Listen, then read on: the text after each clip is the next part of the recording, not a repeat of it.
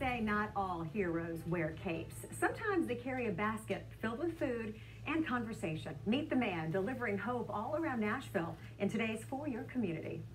Hey, John. How you doing? Musician Barry Coggins has recorded dozens of albums. He plays all across Nashville and still sings in the church choir. Betsy will be here in a minute. Oh, Your, your girlfriend.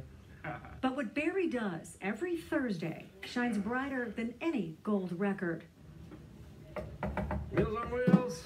For 34 years, he's handed out Meals on Wheels.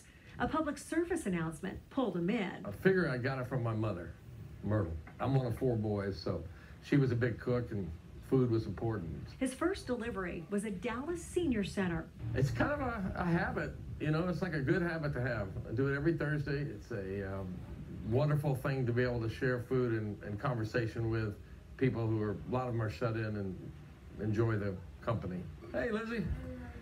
Doing well? How are you doing? Alright, Did you get any results back yet? no. Still don't know. All right, well, you're my prayers. Barry usually brings a friend on his routes. You're on the wrong side. Oh, you know you're not. This is Betsy. I was thinking about it today. I probably had at least 100 or more people that have gone along with me over the years. We're going down to see Brent. Other friends, he says he'll never forget. Mildred Carruthers. Uh-huh. Sorry. Verdi Paradon. Ellen Willis. People like that.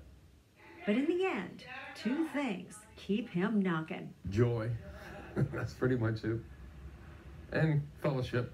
Another great day. Bye, Betsy. Bye. See, See you next week. All right.